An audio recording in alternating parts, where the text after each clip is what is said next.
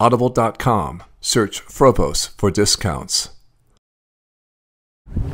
Hi, my name is Mark Frobose, the language guy. Did you know that when I was in middle school, I was told I had no aptitude for foreign languages because my algebra scores were too low?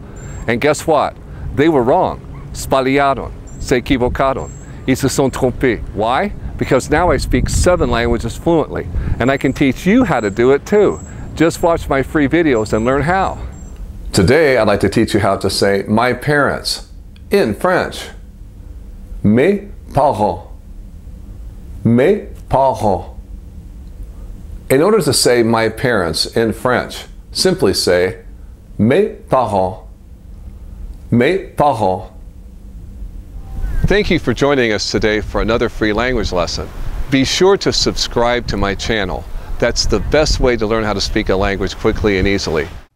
Audible.com. Search Frobose for discounts.